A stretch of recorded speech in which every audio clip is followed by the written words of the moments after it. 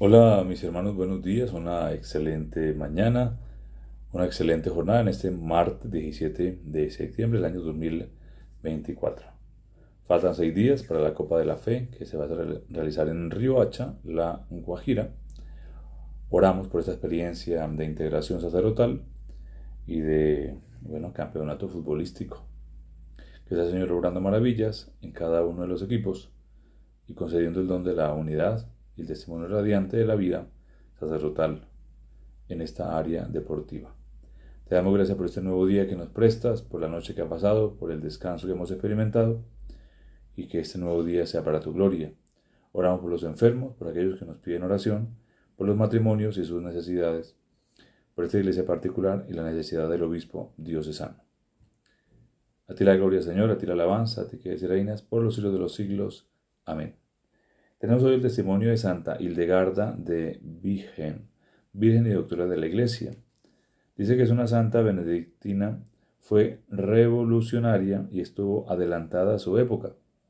Fue científica, filósofa, música, poeta, escritora, teóloga.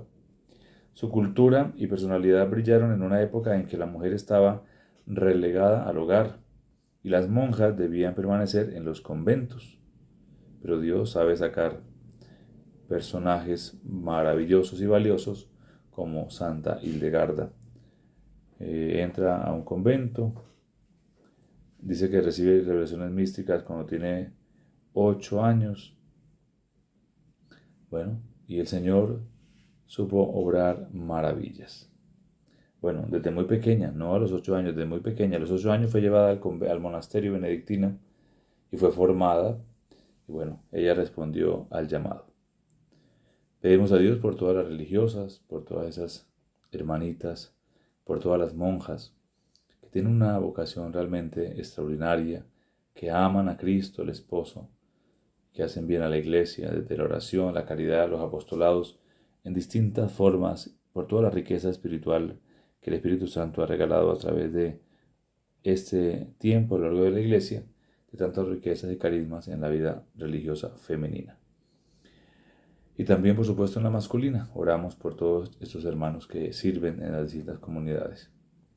La primera lectura nos dice que el cuerpo tiene muchos miembros, pero los miembros, a pesar de ser muchos, forman un solo cuerpo. Y así somos los cristianos, que aunque seamos muchos de distintas eh, culturas, eh, tenemos una sola unidad en Cristo Jesús.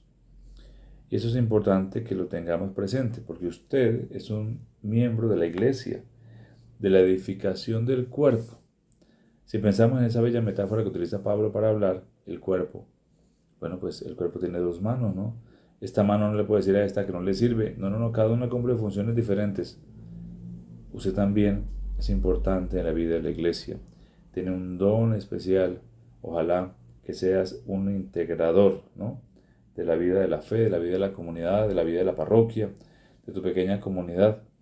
No que seas un disgregador, porque tal vez eres eh, el que pone pero a todo, ¿no? el que no obedece, el que no aporta, el que es bueno para criticar ¿no? y no para alabar y para servir.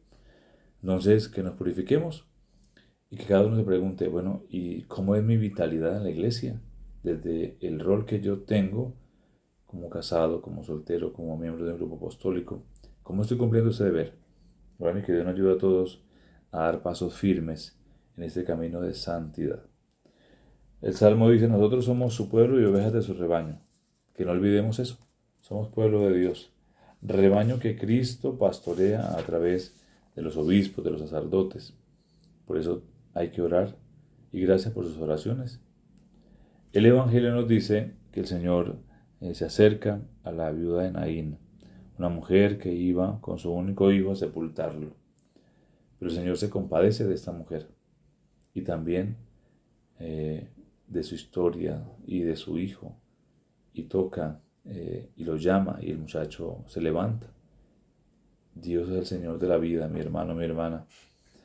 Dice que la multitud llevaba ¿no? al féretro, al cementerio. Qué buena imagen para que nos preguntemos, ¿no? Eh, tú te llevan en brazos. ¿Quién te lleva? ¿Para dónde te llevan? ¿Cuál es la multitud que está detrás de tu vida? ¿Eres tú el muerto? ¿O eres tú el que eres capaz de empujar a otros, conducirles al camino de la vida, porque les muestras quién es Cristo, porque compartes una palabra de aliento? Bueno, ojalá que seamos de esa multitud y que en este camino podamos encontrarnos esas dos caravanas, tú y yo, caravana que vamos con situaciones de pecado, de debilidades, y la caravana de Cristo que viene a sanar, a liberar, a restaurar y a dar vida nueva. Gracias Jesús, porque también hoy te haces el encontradizo en nuestra historia para darnos una palabra de vida que nos restaure, que nos levante y que nos permita un camino nuevo.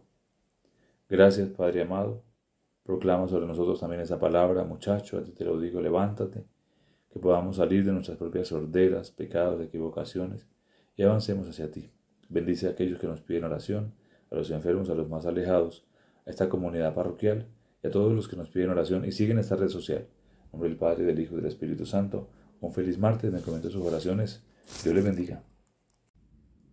Amigos, soy el Padre Samuel Chávarro. Quiero agradecerles que me sigan en este canal de YouTube. Los invito también a Facebook y juntos compartamos este camino de evangelización. Bendiciones.